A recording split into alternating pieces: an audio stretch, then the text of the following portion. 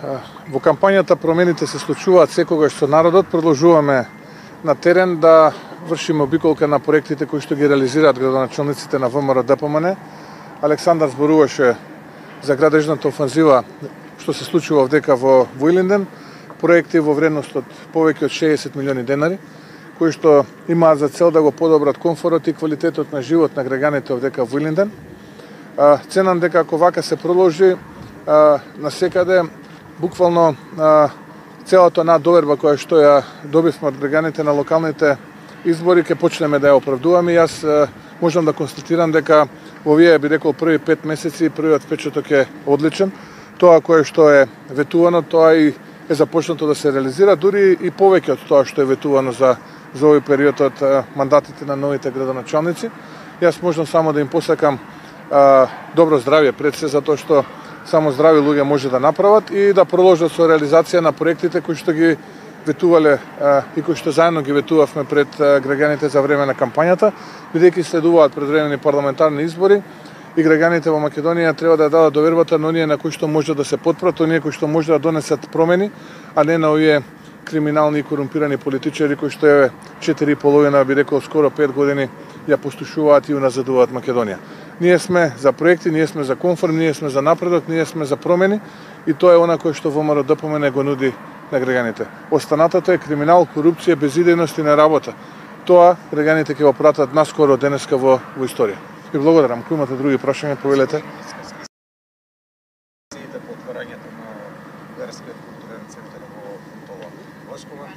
И коментар за нивното синоќешно сообштение. А, чиво сообштение, извинете? На клубот на Венче Михайлов. А, не сум го. А, мислам дека а, едноставно нема време во мојот распоред да читам такви сообштенија од такви ликови. Јас сакам да се посветам на на ова што вие го кажавте и го поставивте како прашање, тоа го кажав и во саботата. Дека Петков прво што треба да направи кога ќе се врати во Софија е да отвори вакви два клуба најмалку во Благоевград и Сандански за македонците кои што живеат во Пиринска Македонија. Но гледам дека подпредседателот на Бугарија продолжува со неевропските вредности, со а, со негирањето на македонското малцинство во Пиринска Македонија.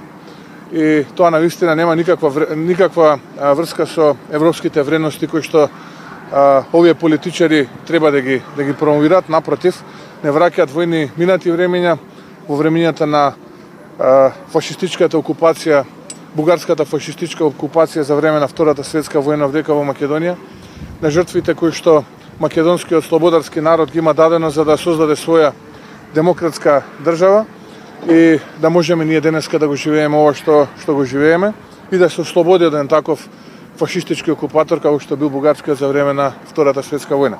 Јас после оваа провокација и после овие изјави дадени одека во Македонија, наистина немам што да додадам, а, освен со чудење да, да констатирам дека не знам кој е тој политичар или кој е тој историчар кој што ќе седне на маса заедно со неговите колеги од кај нашиот источен сосед и да продолжи да преговара за, за постигнување договор барем до јуни. Ако ова е да си најдат некаков изговор зошто повторно да ја блокираат Македонија, тогаш се прилично прилично успешни и затоа ја повикувам меѓународната заедница, ја повикувам Европската унија, го повикувам Брисел да стави крај на овие да би рекол неевропски екзибиции од страна на официјална Софија, бидејќи овдека во Македонија немам јас кога веќе да повикувам, станува збор за некредибилни политичари кои што освен криминал, корупција, предавства, срам, безиденост друго и не знаат што да прават. Затоа еве од овде од Илине повикувам и Европската унија и официјален Брисел да стави крај на овие фашизоидни намери од страна на нашиот и хегемониски намери од страна на нашиот источен сосед да направи притисок и да овозможи Македонија конечно да ги почне преговорите. Овој народ тоа го заслужува, бидејќи многу пати во историјата се покажало дека стои рамо до рамо со европските вредности. Има уште за Бугарија? Како го коментирате развојот на односите помеѓу владата и СОНК, мислам на предлогот кој што беше даден одбивањето на од страна на синдикатот? Па изминатиот период сведоци сме дека еве ќе тргнам од 107% од прилика е некаде на поскапувањето на зетинот. Од прилика 80 на проценти е поскапени се бензините и нафтата, 70 на проценти брашното, 30 на проценти за домакинствата струјата, а за компаниите 300%, може би повеќе. Она кое што го понуди владата е да продолжи да краде и да ги троши ненаменски парите на граѓаните и понуди, како што успеав да разберам, усмено 10% зголемување на а, платата на наставниците и а, вработените во градинките, без да има писмен договор, после некаков ребаланс на буџет кој што никој не знае кога ќе се случи и дали воопшто ќе се случи. Така што а, срамно е однесувањето на владата, истата оваа влада ќе подсетам 2015 година, поранешната министерка за труд и социјална политика и образование Мила Царовска од говорницата на СДСМ држеше пресконференции и велеше дека е загарантирано со устав правото на штрајк на вработените во образованието и во и во а, и во градинките. Така што срамно е однесувањето на нова влада наместо да работи на стандардот на на тие кои што ги воспитуваат нашите деца, кои што ги гледаат нашите деца да ги мотивира, таа дополнително создава тензија, создава револт и дополнително а, ги прави овие луѓе да се чувствуваат некомотни во собствена држава. Уштенашка покажува оваа влада а, предводена од нелегитимен премиер дека за едни е мајка, а за други за жомаке. Господин Мисковски, околу варањето на албанските партии за тргање на 20 проценти, вие рековте дека треба да се разговара и за Вадентер и за Балансер.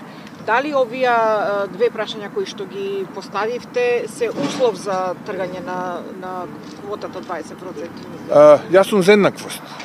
Јас сум за држава во која што сите граѓани, без разлика на нивната етничка и верска припадност, ќе бидат еднакви.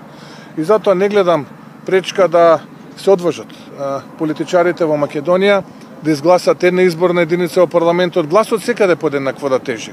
Да тежи подеднакво и во Тетово и во Гостивар, и во Струмици, и во Гевгелија, и во Битово и Прилеп, и во Куманово. Зошто тоа да не го направиме? Сите заедно, зошто да создаваме политичка тензија? Јас сум за еднаквост и кога аплицираме на работните места, кога аплицираме на универзитетите, секаде сум за еднаквост. Подеднакви права сите граѓани да имаат. Зошто некои граѓани да се чувствуваат а, деградирани затоа што припаѓаат на некаква квота или на некакви проценти. И затоа не ја гледам потребата од Бадинтер и балансер. Ајде да градиме општество во кое што ќе се темели нашиот напредок врз основа на нашето знаење, компетенции, нашите вештини. Зошто да мора да градиме општество во кое што некој ќе се чувствува подреден визави друг со тоа што припаѓа на некаква квота или на некаков процент. Ајде нека се охрабрат и да разговараме за квалитет. Само така може Македонија да оди напред. Дали, Благодарам. Прашањето ми беше дали тоа ќе ви биде услов доколку се почнат разговорите? Е, Ви дадов одговор. Благодарам. Во врска со една изборна единица истече оној рок кој што го дада малите партии, дали сте имале контакти со нив со оглед на тоа што практично од нив зависи и мнозинството на владата во собранието. Да, нели рекоа, три месеци, тие три месеци се веќе поминати с тим една изборна единица. Нема дали имавте контакти, дали ќе контактирате планови? Сега, одговор на вашето прашање ќе дадам во два дела. По првиот дел, они рекоа април, има уште 12 на дена, до истекот на овој месец април. А, така што еве да им оставиме простор уште 12 дена по малите партии кои што се дел од коалицијата да се произнесат.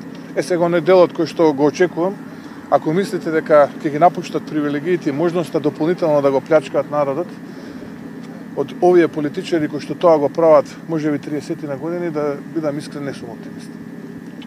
И благодарам.